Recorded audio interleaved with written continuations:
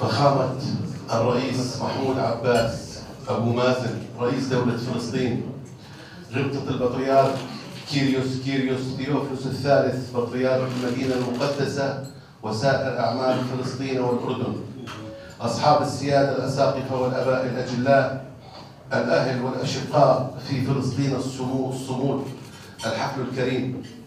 يشرفني أن أنقل لكم تحيات مولاي صاحب الجلالة الهاشمية الملك عبد الله الثاني بن الحسين المعظم حفظه الله وتهنئة جلالته للشعب الفلسطيني الأبي المغوار وأهلنا في فلسطين التاريخ بمناسبة عيد الميلاد المجيد.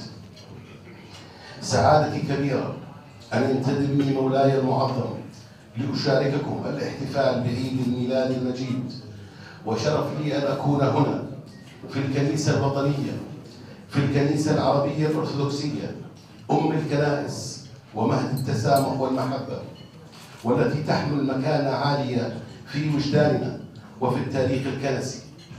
فطالما استمد الفلسطينيون المرابطون عزيمتهم على الصمود من هذا المكان العريق ظل داعما للصمود في النضال المشروع من أجل الحق. وظل لهذه الكنيسة الأرثوذكسية دورها الطليعي والمحوري في المحافظة على الأراضي الفلسطينية وظلت صخرة تتحطم بفعل منعتها وصمودها كل المؤامرات الهادفة إلى تغيير الوضع القائم في القدس والمقدسات.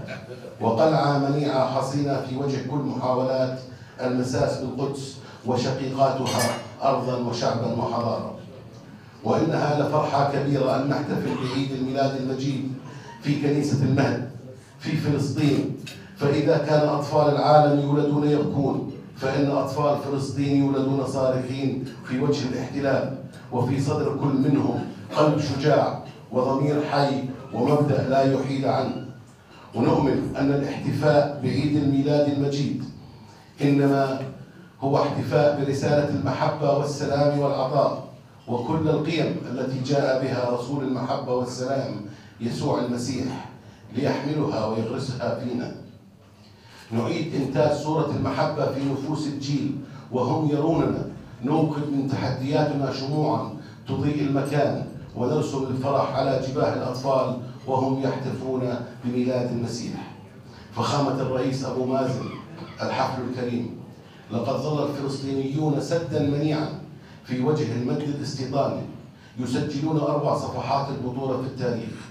ويستمدون صمودهم من إرث الآباء والأجداد وعلى خطى الهاشميين الذين يحملون أمانة الوصاية الهاشمية على القدس والمقدسات ويزودون عن حمى القدس في كل المحافل والمنابر ويولون القضية المركزية الأولى قضيتنا الفلسطينية كل الاهتمام. فلا يمر موقف أو تعبر مناسبة إلا ويؤكد مولاي المعظم على حق الفلسطينيين في دولتهم على ترابهم الوطني وعاصمتها القدس الشرقية.